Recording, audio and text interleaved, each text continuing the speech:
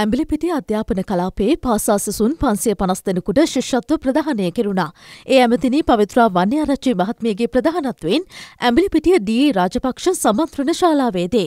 රත්නපුර දිස්ත්‍රික්කේ බලංගොඩ රත්නපුර ඇම්බිලිපිටිය හා නිවිදිකල යන අධ්‍යාපන කලාපොල සිසුන් දෙදහස් පන්සියකට අධික පිරිසකටද ශිෂත්ව ලබාදීමට නියමිත බව මෙහිදී ප්‍රකාශ කෙරුණා. අපේ අනාගතය රැකෙන්නේ ඉගෙන ගත්තොත් විතරයි. දැන් වර්තමාන ජනාධිපතිතුමා එතුමාගේ අධ්‍යාපනය හරියට ඉවර කරගන්න.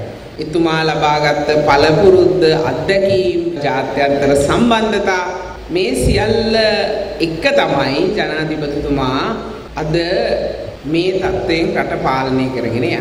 එතුමාත් එතෙන්ට ආවේ අධ්‍යාපනය නිසා හින්දා එතුමා තීන්දු කරලා තියෙනවා පුතාලට ඉගෙන ගන්න අවශ්‍ය යම් මුදලක් මාස්පතා දෙන්න. ශිෂ්‍යත්වයක් දෙන්න. මොකද එතුමා දන්නවා මේ අධ්‍යාපනයේ තියෙන වටිනාකම.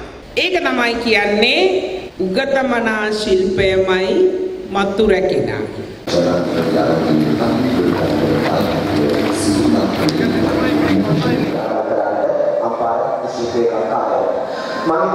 ජනාධිපති ශිෂත්ව පිරිනැමීමේ අම්පාර දිස්ත්‍රික් වැඩසටහන අම්පාර ඩියස් සේනානායක ජාතික පාසලෙන් ආරම්භ වුණා.